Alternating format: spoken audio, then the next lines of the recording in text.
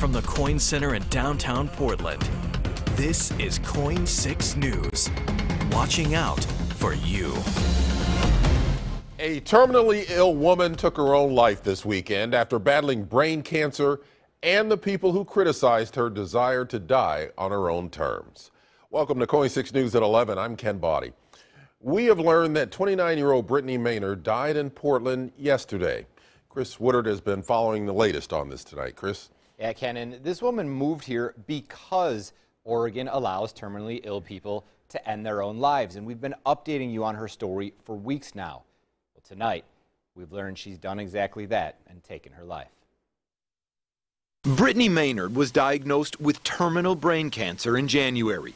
When doctors gave her six months to live, Brittany instantly set out to live the rest of her life on her own terms. The thoughts that go through your mind when you find out you have so little time is everything that you need to say to everyone that you love. Brittany talked about her controversial decision in videos posted to YouTube, making national headlines when she moved from California to a home here in Portland.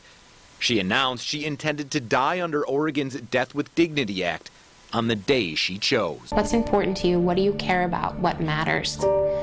Pursue that forget the rest. With her decision came criticism, debate.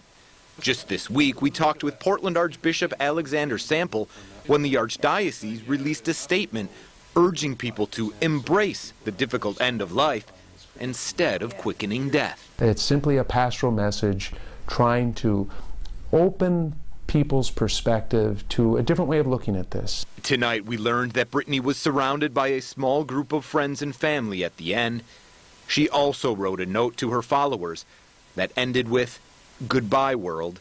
Spread good energy. Pay it forward. Now, Brittany had originally intended to die on November 1st, but announced this week that that may come later. Tonight, we did get a statement from the nonprofit group Compassion and Choices, who had been posting those YouTube interviews with Brittany. That statement says that Brittany suffered increasingly frequent and longer seizures, severe head and neck pain, and stroke like symptoms. As those symptoms grew more severe, she chose to abbreviate the dying process by taking the aid in dying medication that she'd received months ago. She died as intended, peacefully in her bedroom in the arms of her loved ones. Tonight, her family has asked for privacy. Ken. Thanks, Chris.